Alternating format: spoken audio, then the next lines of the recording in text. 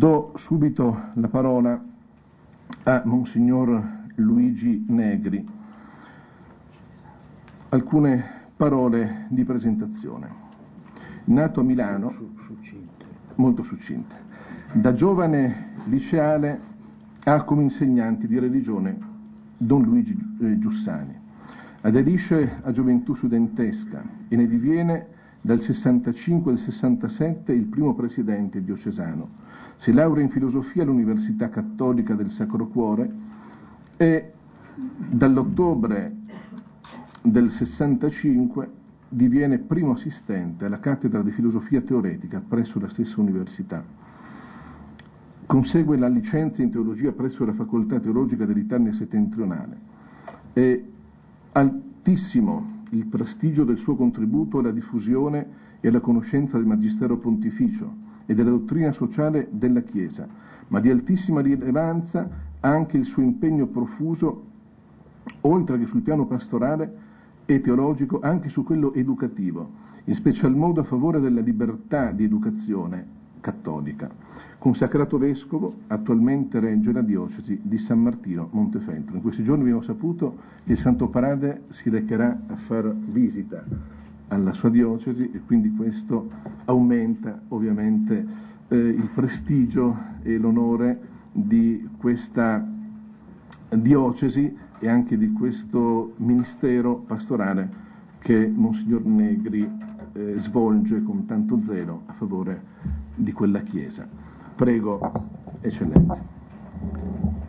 A una certa età che è la mia, queste introduzioni acquistano il senso di un necrologio anticipato. non è mia l'osservazione, è di Sant'Agostino, quando poi non c'erano i necrologi. Io ho accettato con molto, con molto piacere di fare questa introduzione, non è più che un'introduzione, eh, direi una serie di suggestioni che traggo dalla mia esperienza da prima di studioso, soprattutto della dottrina sociale della Chiesa, oltre che di educatore, e poi negli ultimi anni di pastore di una Chiesa particolare. È un'introduzione che certamente poi dovrà essere, credo, verificata, dialettizzata da, dal, dallo svolgimento così ricco e così competente di questo di questo simposio, di questo convegno. Eh, voglio essere molto sintetico, appunto introduttivo. Una prima osservazione fondamentale per introdurci a comprendere che cosa sia la pastorale di un concilio, che cosa significhi che il concilio apre una, un, un cammino pastorale, positivamente o negativamente a questo punto non interessa, ma che cosa significa? Significa superare l'idea che il concilio siano i suoi testi, superare questa che è, mi pare, presupposto criptoprotestantico. Nella Chiesa ci sono eventi, non testi, eventi che si esprimono anche in testi, ma gli eventi sono più ampi, più significativi e più decisivi dei testi, tanto vero che ne comandano l'interpretazione. Chi non sa che Nicea è rivissuto in Costantinopoli, che Costantinopoli è rivissuta in Efeso, che Efeso è rivissuta in Calcedonia, gli eventi si ripropongono, si rivivono, i testi vengono in qualche modo eh, fissati e quindi il problema è l'esegesi ma in una cristianità che soffre, secondo me, ancora e pesantemente la tentazione di ridurre il fatto stesso di Cristo a messaggio e quindi di ipostatizzare un'esegesi che pretende di essere la forma autentica dell'interpretazione e della conservazione della fede, non ci deve stupire che l'evento Concilio Ecumenico Vaticano II faccia la stessa fine di Gesù Cristo. Quindi la prima cosa da capire è che l'evento si ripropone, si ripresenta, come il mistero di Cristo si ripresenta. Il mistero di Cristo è colto ed è vissuto in una attualità che ci interpella, che ci chiede oggi di rinnovare nost- il nostro riconoscimento e la nostra adesione. La presenza di Sua Eminenza Brandmüller mi fa essere molto più cauto, ma mi pare di ricordare dei miei studi eh, di, di, storia della Chiesa in Antiquis, nell'ultima grande stagione della facoltà di Venegono, che la formulazione ripresentazione usata dai padri del Concilio di Trento per, per quanto riguarda i sacramenti significava rendere presente, non semplicemente riannodare la memoria a un evento del passato. Allora nella Chiesa tutto si ripresenta. Ed è questa la prima grande sollecitazione, secondo me, di carattere ermeneutico. Il concilio è un evento per, compre- per, per, comprendere il quale è necessaria, come diceva Giovanni Paolo II all'inizio della, della enciclica Redento Hominis, in quelle pagine lucidissime sulla eredità, per capire perché il concilio si ripresenta nella interpretazione del, del magistero pontificio e della chiave sinodale. Non può essere chiuso al 1965 il, il, il, come dire, il concilio cammina e cammina lungo le strade della vita della Chiesa, della presenza della Chiesa, della guida obiettiva e inscavalcabile della Chiesa. Ecco, io credo che la prima suggestione eh, deve essere proprio quella di recuperare l'evento del concilio qui ed ora. Nell'evento del concilio qui ed ora si riannodano i fili di una storia che è anche una storia faticosa è una storia faticosa nel farsi del concilio, ringrazio il professor De Mattei presente per lo straordinario volume che ci ha fornito in questi giorni, perché è una fatica mentre si fa il concilio, è una fatica ed è una dialettica mentre si tenta di attuarlo, è una fatica e una dialettica mentre lo si recepisce. Ma a me sembrava e sembra importantissimo che noi usciamo dalla logica del messaggio e del, e del documento il messaggio e il documento ci sono, ma all'interno di un evento che deve essere ri- rivissuto e la, la, linea maestra per rivivere l'avvenimento è la vita della Chiesa, è la vita della Chiesa guidata, è la vita della Chiesa come un popolo guidato al suo destino. Allora, se questa è la prima suggestione, mi sembra chiaro qual è stato il senso dell'evento del Concilio Ecumenico Vaticano II. E a me pare chiaro in quell'intervento eh, vigoroso che eh, Giovanni Paolo II fece concludendo il convegno tenuto in Vaticano proprio nell'anniversario del concilio, quando disse abbiamo raccolto quella sfida, la sfida del mondo moderno alla Chiesa, la sfida della modernità, sostanzialmente caratterizzata da posizioni di anticristianesimo e di ateismo, quella che Paolo VI nella, eh, conclu- nella omilia conclusiva del concilio disse la religione dell'uomo che si fa Dio ha sfidato la religione del Dio che si è fatto uomo. E questa è stata la minaccia che è gravata lungo tutto il concilio e diceva che cosa ne è accaduto? Un anatema poteva ma non ci fu. Una crisi poteva essere ma non ci fu. L'immagine del buon samaritano ha preso corpo ancora nella coscienza della Chiesa e quindi con il Concilio Vaticano II la Chiesa ha incominciato la cura di un mondo malato, la cura di un uomo malato ma ho citato Paolo VI mentre stavo citando Giovanni Paolo II, la cui definizione mi sembra assolutamente pertinente. Abbiamo raccolto quella sfida e vi abbiamo dato risposta cercando una intelligenza più coerente della fede.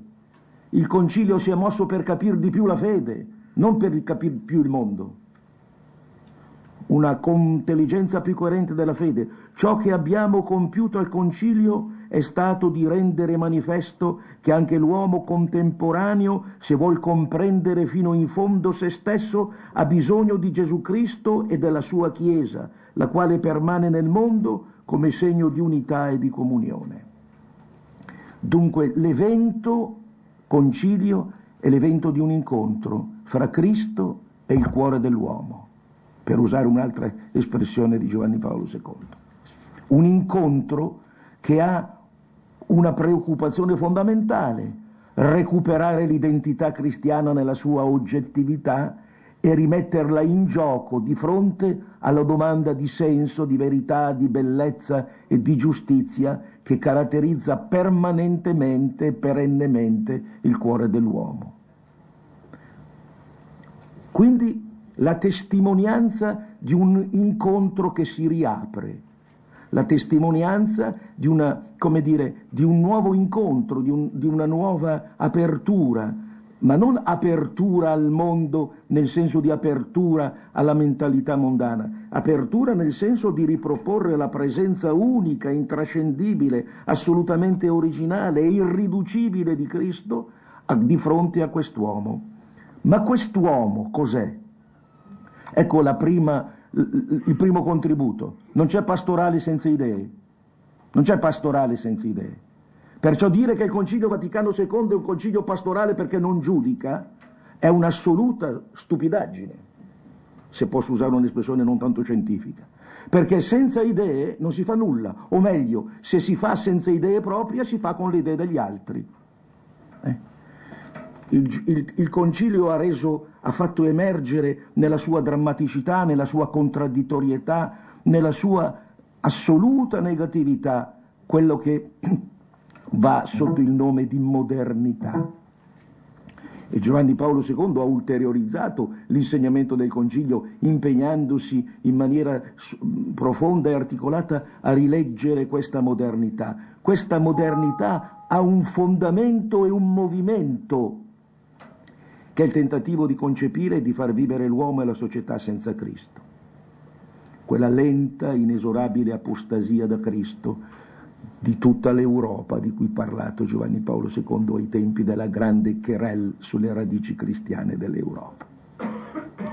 Di guardare il mondo che la Chiesa vedeva all'inizio del concilio, senza arrivare a questa radice, questa radice anticristiana e anticattolica, soprattutto questo antropocentrismo esasperato, questa scelta della centralità dell'uomo senza Dio. Ma noi abbiamo imparato che non si può essere senza Dio, o si è con Dio o si è contro Dio. Ecco, mettere in, mettere in, in evidenza questo movimento che mentre nega Dio, sostanzialmente finisce per negare l'uomo. La grande tragedia dei totalitarismi.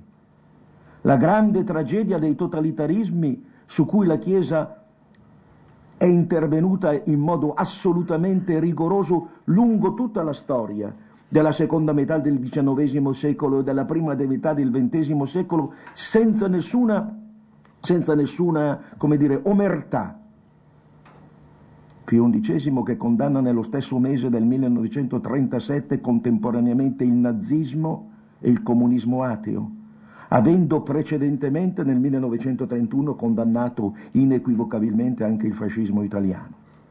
Eh? Quindi non si può dire l'uomo che, il, l'uomo che il, il, concilio incontra è un uomo natural, naturaliter bonus L'uomo che il concilio incontra porta sulle spalle un fallimento secolare che ha rischiato non soltanto distruggere il modo di pensare, ma ha distrutto milioni e milioni di uomini, ha distrutto la loro dignità, la loro libertà, la loro capacità di sacrificio, la loro capacità di costruzione. Perché? Perché il movimento della modernità è un movimento ateistico, anticristiano, ma alla fine di questo movimento anticristiano abbiamo abbiamo la uh, disgregazione antropologica. L'apostasia da Cristo finisce come apostasia dall'uomo, dell'uomo da se stesso. Benedetto XVI. Ora, questo è il, il, uh, il filo conduttore ultimo. Proprio la genialità, secondo me, di Giovanni Paolo II, ma qui devo dire non di certi documenti del Concilio, è quello di leggere dentro e accanto questo livello ultimo, strutturale, teoreticamente strutturale, tutta l'istanza di attesa.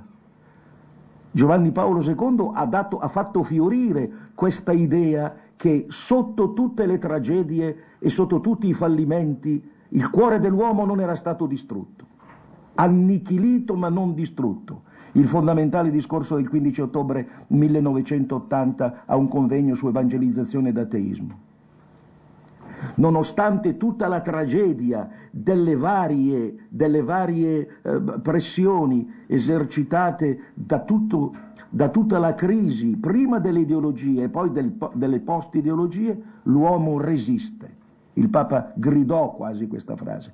Come non ammetterlo con, con ammirazione? L'uomo resiste è alla base di società di, di, uh, ateistiche e anticristiane, come alla base di società edonistiche e materialiste, si nota un innegabile risveglio religioso.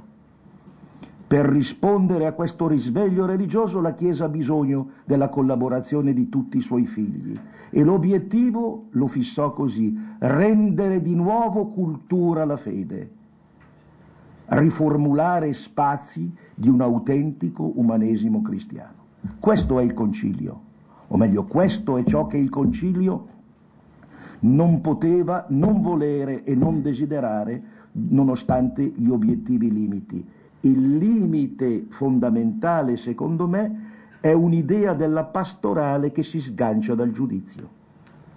È un'idea della pastorale che tanto, sarebbe tanto più libera, più efficace, più capace di comprendere se non è attardata da preoccupazioni di carattere teorico o teoretico o teologico che rischiano, secondo una certa interpretazione di testi conciliari, di rendere impossibile il dialogo, l'idea perversa di dialogo che il dialogo è tanto più possibile quando non ci sono identità chiare, mentre il dialogo è tanto più possibile quanto più le identità sono chiare.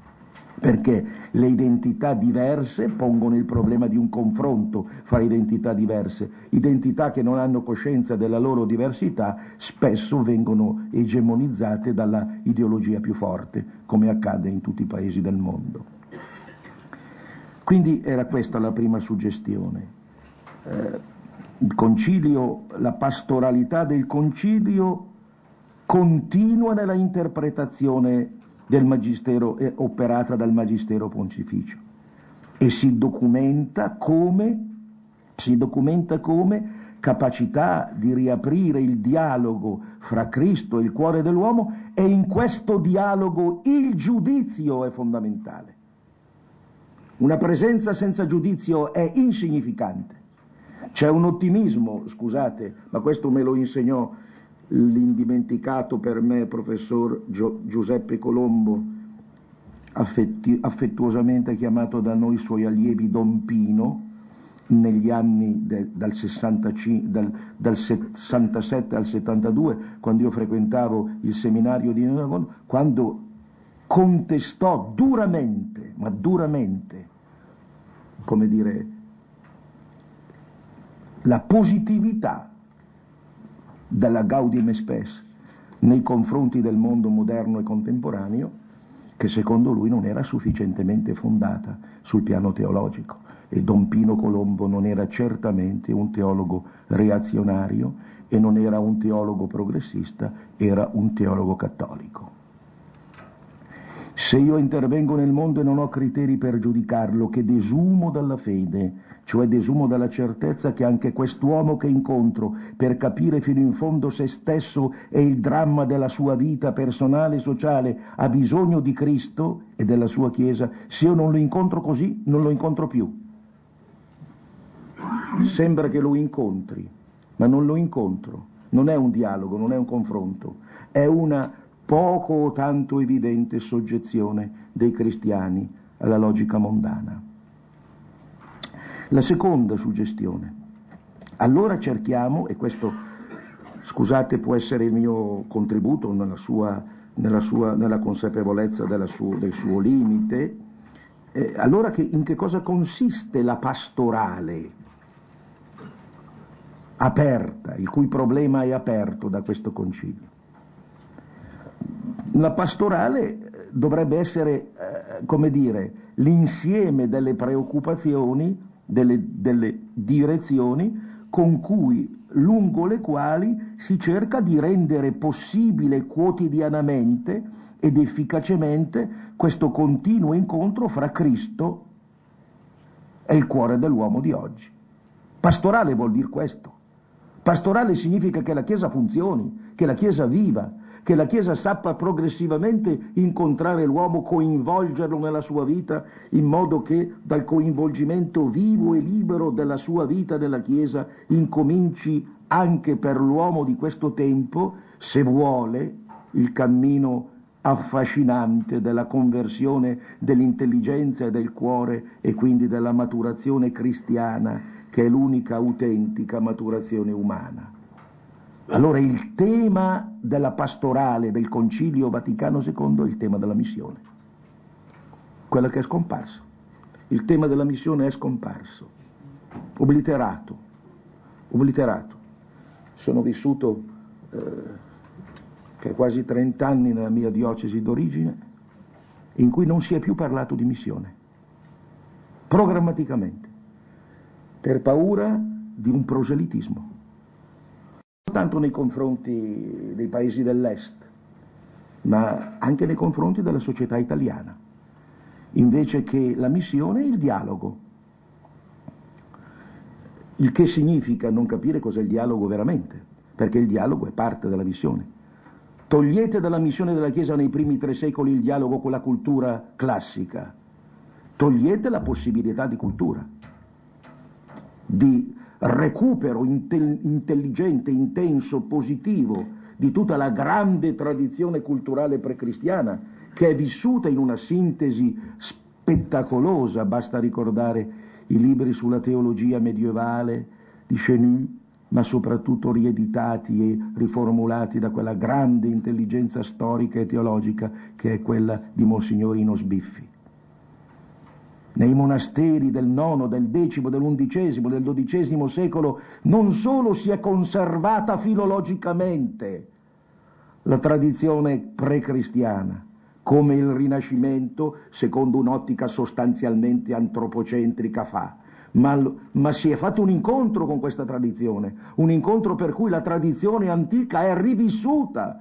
dentro il contesto della cultura cristiana. È la missione il concilio ci ha consegnato, ci dovrebbe consegnare, utilizzate voi i termini che sentite più vicini alla vostra situazione, alla vostra esperienza, ma il concilio ci avrebbe dato il compito di una nuova evangelizzazione, di una nuova missione.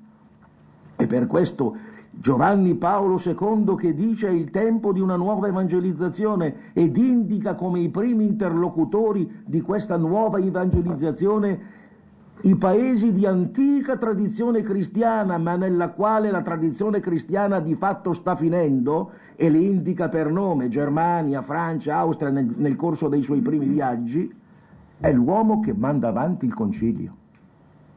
Il concilio va avanti così in quella lucidissima e assolutamente, come dire, coraggiosa definizione della missione come autorealizzazione della Chiesa.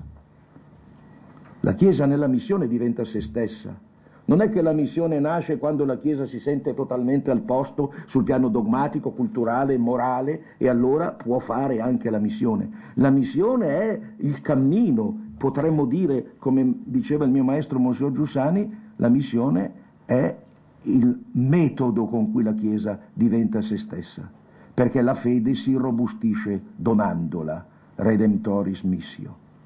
Allora, eh, come dire, eh, la pastorale si precisa così, questo incontro fra Cristo e il cuore dell'uomo significa rinnovarsi dalla missione rinnovarsi della missione ecclesiale come la presenza di una comunità cristiana autenticamente fondata, radicata su Gesù Cristo, che in questa radicazione di cui fa esperienza nella vita della comunità cristiana, che è una vita sacramentale, liturgica, di, ca- di carità vissuta, in questa esperienza fa un'esperienza di novità di vita che propone umilmente ma fermamente al mondo come l'unica possibilità di salvezza. Questa è la missione.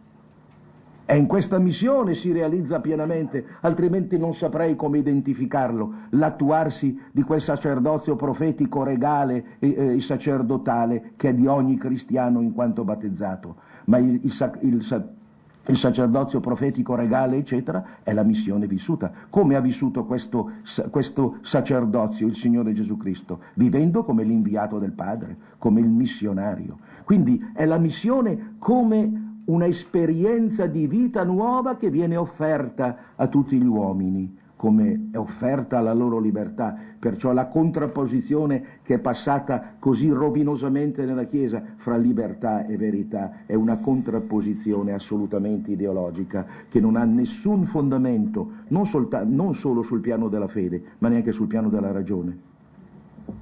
Questa missione mi sembra che abbia due, due dimensioni fondamentali la dimensione della cultura, non c'è missione senza cultura, non c'è missione senza capacità di giudizio, non c'è missione senza che la Chiesa, entrando nel vivo di un determinato mondo, incontri delle problematiche reali, personali e sociali ed indichi, ed indichi a questa problematica le linee di una soluzione che tendono a costituire una cultura concreta, storica, sempre riformabile, ma la cui esistenza, se non c'è una cultura, di un certo, una capacità che la fede inculturi un determinato mondo e un determinato ambiente, vuol dire che la Chiesa in quel mondo e in quell'ambiente non c'è stata la capacità della fede di diventare criterio di giudizio, criterio di interpretazione e quindi suggerimento teorico e pratico di soluzioni alle problematiche esistenziali e sociali di un determinato mondo.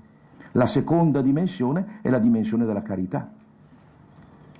La fede si esprime come carità, che è un ethos assolutamente nuovo, irriducibile a qualsiasi tentativo di interpretare e di risolvere i problemi sociali esclusivamente sulla base delle considerazioni di carattere analitico, di carattere procedurale.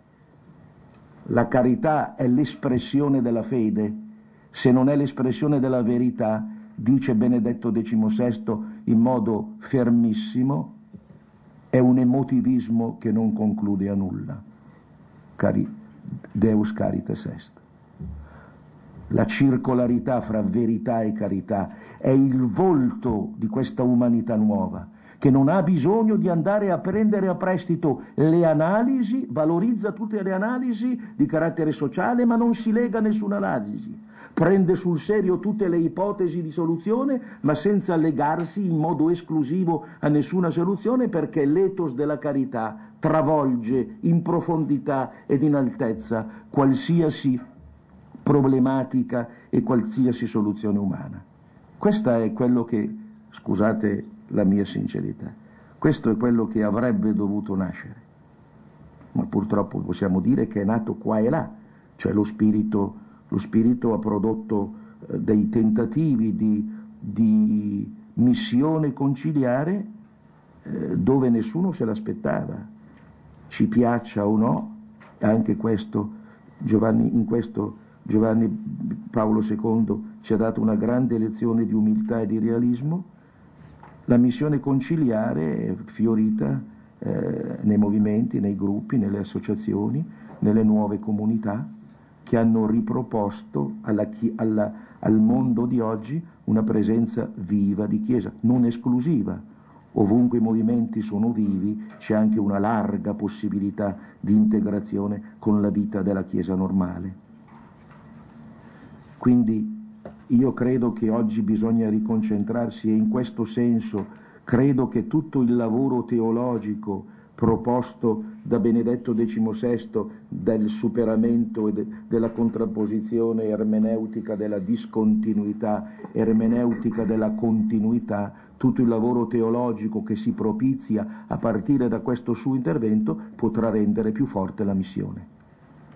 Quanto più si risolverà in maniera positiva e costruttiva l'ermeneutica autentica del Concilio Vaticano II, tanto più i tentativi missionari che cercano di rendere presente lo spirito conciliare dentro il mondo di oggi ne risulteranno certamente rafforzati. Due brevissime con, connotazioni. La prima è che dobbiamo pure ammettere che sul concilio è incominciata quell'assalto della mentalità mass mediatica che si è, che si è come dire, poi così raffinata e insieme ingrezzita e che oggi fa sì che la Chiesa sia semplicemente un oggetto di manipolazione da parte della mentalità dei giornali, della stampa, della radio, della televisione, per cui non c'è più niente di sacro, non c'è più niente di segreto. Una volta ho detto, ma lo Spirito Santo, quando ci sono le provviste delle chiese importanti, e anche no, scende, scende sulle congregazioni o scende sulle redazioni dei giornali? Sembra che siano le redazioni dei giornali il luogo dove vengono indicate le terne, vengono indicati quelli che sono in pole position e normalmente quelli che sono indicati dalla stampa, dal Corriere della Sera dalla Repubblica come in pole position riescono. Non c'è più niente di segreto, ma hanno dettato dal tempi del concilio l'immagine della Chiesa vera, l'immagine della Chiesa falsa, l'immagine della Chiesa aperta, l'immagine della Chiesa chiusa.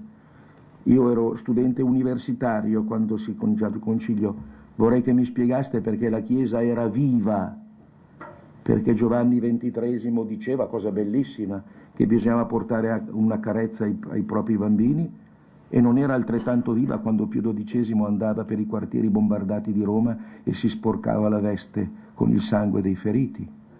Perché non era vera e viva la Chiesa che con, eh, che con Elia dalla Costa eh, chiudeva le chiese di Firenze per impedire al Führer e al Duce di visitare le chiese, perché non era viva la Chiesa che condannava i totalitarismi, perché non era vera, viva la chiesa del cardinale Schuster di Milano che si pose come unico punto di riferimento non solo religioso ma anche politico fra il fascismo agonizzante e, e gli alleati e soprattutto i cosiddetti resistenti che qualche volta avevano una faccia non molto diversa dei fascisti che stavano agonizzando.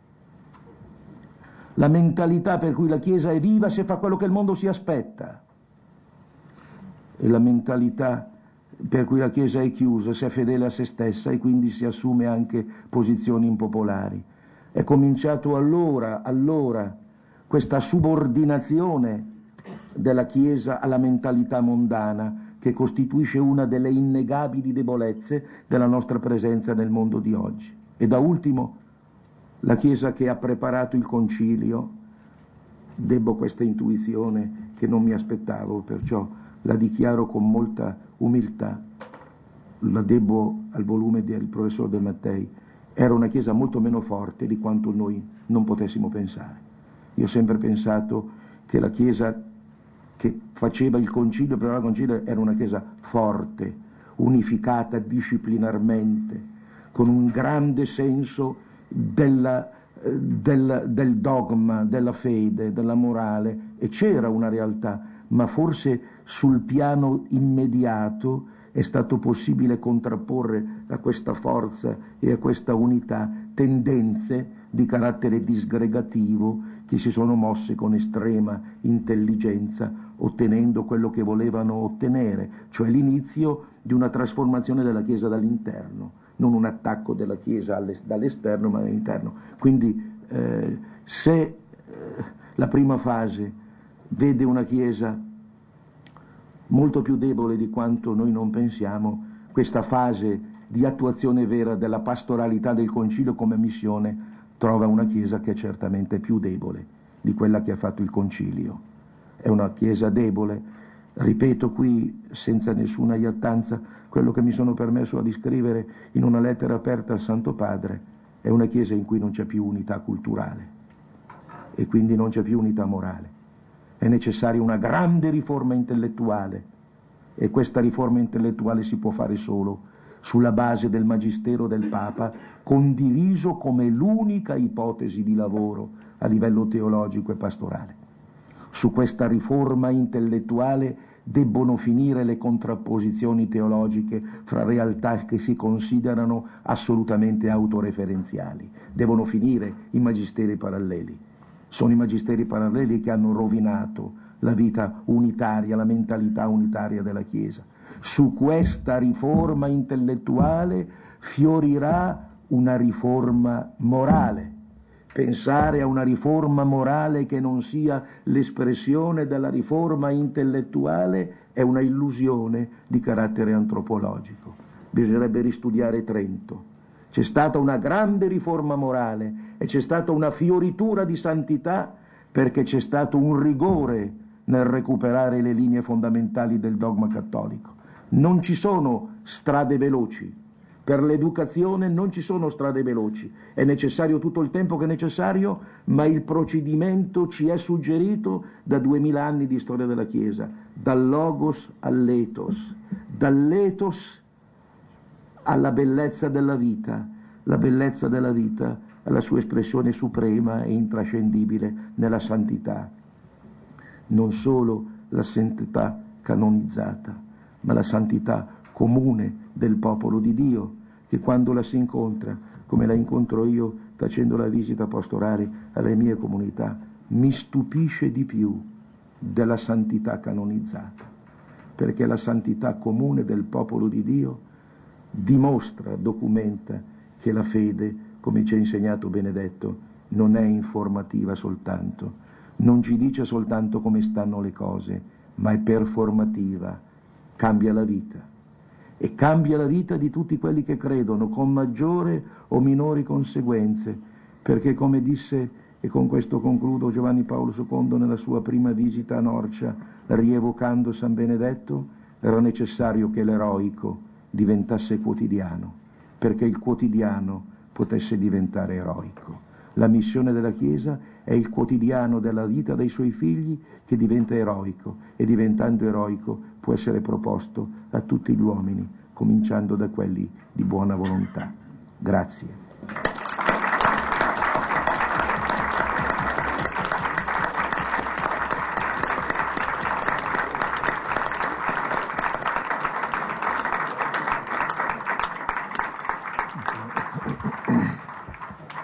Grazie Eccellenza, lei ci ha ricordato le sfide della Chiesa contemporanea, la quale si trova a dover, a dover fronteggiare dei paradossi, delle contraddizioni, un dialogo contro la missione, un sentimento contro la carità, una eh, eh, inculturazione che non è acculturazione. Ecco, leggete il libro di Monsignor Gherardini per capire meglio la, le due accezioni eh, il rimedio in una riforma culturale che non può non essere una riforma degli studi, quindi una riforma dei seminari. Ecco, a questo veramente noi auspichiamo per riannodare la teologia dei futuri sacerdoti alla grande teologia della tradizione della Chiesa che non può costituirsi contro l'insegnamento dei grandi dottori del Medioevo che sono stati in questo un modello